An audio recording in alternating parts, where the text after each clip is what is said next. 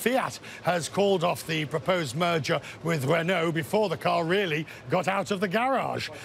Fiat Chrysler is blaming the French government, uh, which is Renault's biggest shareholder. Anna Stewart is watching. The, the, the shares of Renault are down 6% in Paris. But why did the French government say no?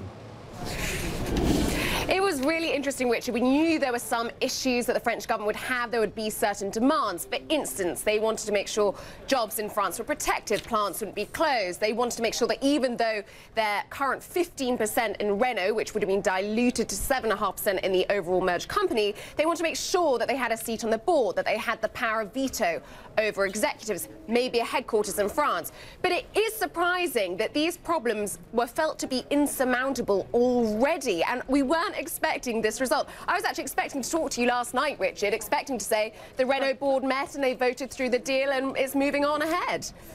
Nissan played a role in the issues here, and uh, from what I understand, yeah. um, they wanted to ensure the Renault-Nissan deal wouldn't, or alliance wouldn't fall apart. This was a crucial part. They couldn't guarantee this, but apparently it was all, everybody just ran out of time to decide.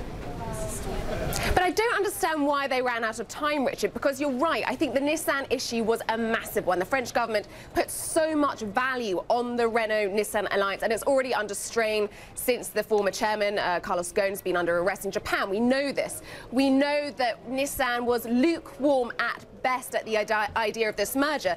But, you know, the French finance ministers in Tokyo over the next few days, the G20 meetings, expecting to meet with Nissan, I don't understand why it happened so quickly, and I think it's taken a lot of analysts by surprise. But I would say, Richard, before I go, the statement from Fiat says that the conditions, the political conditions in France, aren't currently uh, right for this merger. They use the word currently, which makes me think the door may still be ajar.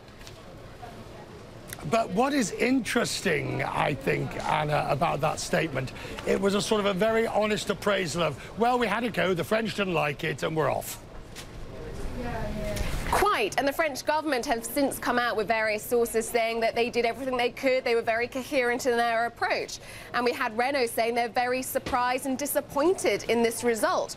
By all means, I mean, it's been a disappointing result. I would say Fiat shares haven't moved much today at all, and I was very interested to see that Peugeot shares were up. There's big thoughts now that maybe Fiat's future partner won't ah. be uh, ah. won't be Renault. It could be Peugeot, and Peugeot is also obviously got the French government issue, but it doesn't have the Nissan problem.